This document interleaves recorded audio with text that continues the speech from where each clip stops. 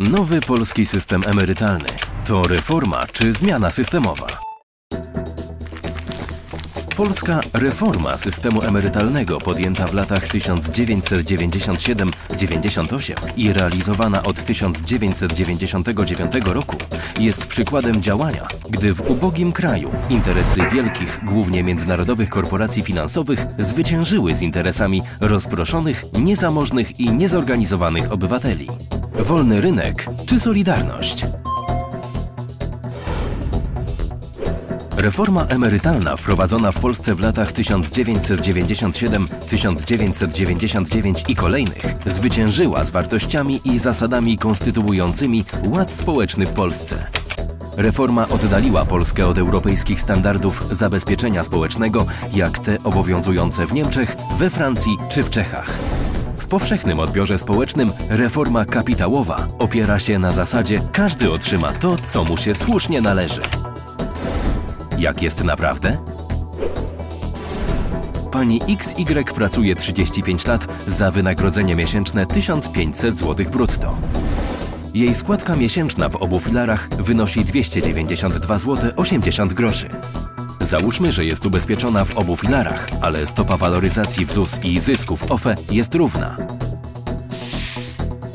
Wysokość emerytury obliczamy tak: 35 lat razy 12 miesięcy razy 292 zł 80 groszy równa się 122 640 zł. Równa się kapitał na koncie w obu filarach. Oba filary dają taką samą stopę waloryzacji. Emerytura po 35 latach pracy ze zgromadzonego kapitału wyniesie 122 640 zł.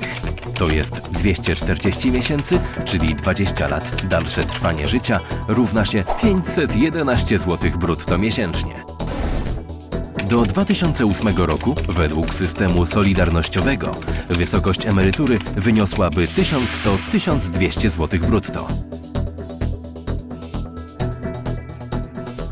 Emerytura według formuły kapitałowej netto. Od emerytury brutto należy odjąć podatek PIT 18% oraz składkę do NFZ 1,25%, czyli 98 zł. Emerytura netto od takiego wynagrodzenia wyniesie 413 zł. To granica minimum egzystencji, czyli próg, który już nie upoważnia do ubiegania się o pomoc społeczną. Jeśli część składki będzie w OFE, to sytuacja zmieni się nieznacznie. In minus raczej niż in plus. Chyba, że OFE zbankrutują, to wówczas emerytura może być niższa o procent składki płaconej do OFE. Stopa zastąpienia średniego dochodu z pracy uzyskiwanego przez całe życie zawodowe wyniesie 27,56%. Jeśli zgromadzony kapitał podzieli się na 18 lat dalszego trwania życia, to wówczas stopa zastąpienia zbliży się do 30%.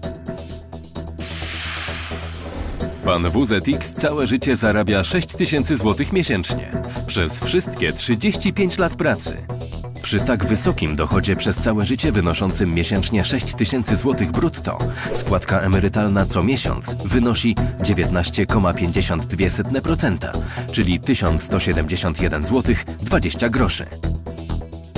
Konto kapitałowe po 35 latach wyniesie. 35 lat razy 12 miesięcy. 491 904 zł. Emerytura brutto po 35 latach wyniesie 2049 zł 60 groszy. Kapitał podzielony na 240 to jest 20 dalszych lat trwania życia. Emerytura netto 1654 zł 60 groszy, a stopa zastąpienia 27,56%. Do 2008 roku według systemu solidarnościowego wysokość emerytury wyniosłaby 3200-3500 zł brutto. Pani ZWY zarabia 2500 zł. Przez wszystkie lata swojego zawodowego życia to jest 35 lat. Składka wynosi 488 zł miesięcznie, 19,52%. Uzbierany i zwaloryzowany kapitał na indywidualnym koncie po 35 latach wyniesie 204 960 zł. Kapitał podzielony przez 240 miesięcy to jest 20 lat życia, da emeryturę w wysokości Emerytura brutto równa 854 zł, minus podatek 164 zł 40 groszy. Emerytura netto 689 zł 60 groszy.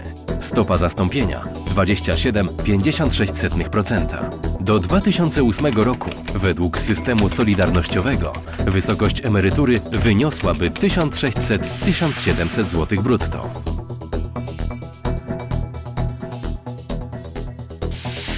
Wysokość emerytury od 2014 roku będzie obliczana przez podzielenie kwoty wpłat do Funduszu Ubezpieczeń Społecznych i OFE na dalsze przewidywane miesiące życia, liczone jako przeciętne dalsze trwanie życia, wspólnie dla kobiet i mężczyzn.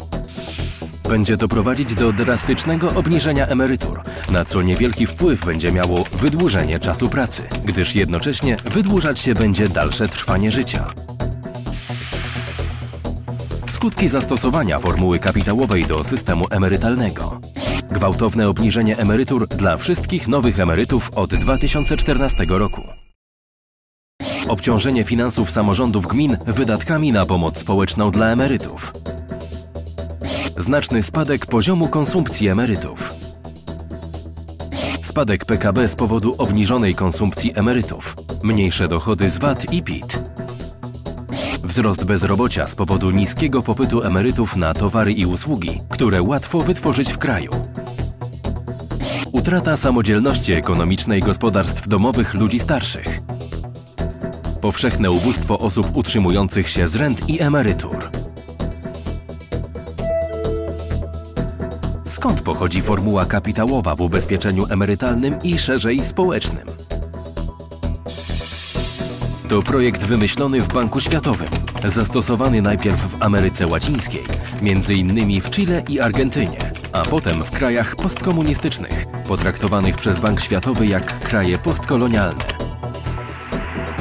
Polsce najpierw wprowadzono ten system do otwartych funduszy emerytalnych, które miały przynieść nadzwyczajne dochody dla emerytów i gospodarki, słynne wakacje pod palmami. W rzeczywistości przyniosły wielki dług publiczny, ponad 300 miliardów złotych oraz konieczność obniżenia emerytur, bo dług trzeba spłacić. Opóźnienie wieku przechodzenia na emeryturę do 67 roku życia, proponowane przez rząd PO i PSL, nie rozwiązuje żadnego problemu, jakim jest konieczność zbudowania stabilnego, bezpiecznego i niezawodnego systemu emerytalnego. Jedynie przerzuca odpowiedzialność za bardzo niskie emerytury na emerytów. Jeśli masz niską emeryturę, to sam sobie jesteś winien, bo za mało pracowałeś i za mało zarabiałeś.